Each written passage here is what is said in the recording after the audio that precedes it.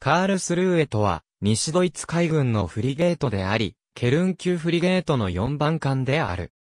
艦名は、バーデンビュルテンベルク州第3の都市である、カールスルーエ市に由来し、この名を冠するドイツ海軍艦艇としては4代目に相当する。カールスルーエは、HC ストラッケンゾーンハンブルク造船所において1958年12月15日に寄港した。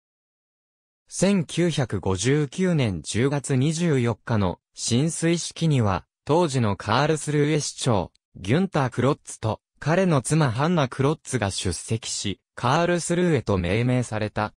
偽装が完了したカールスルーエは1962年6月から試験公開を開始し、11月に試験公開を無事完了した。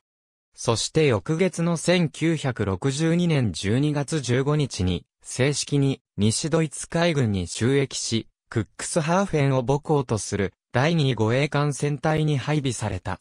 なお、第2護衛艦戦隊の母港は、後の1968年にビルヘルムスハーフェンに移転している。1979年には、ケルン級の後継たる、新型のブレーメン級フリゲートの建造が開始されたため、カールスルーエは1983年3月28日に西ドイツ海軍から退役した。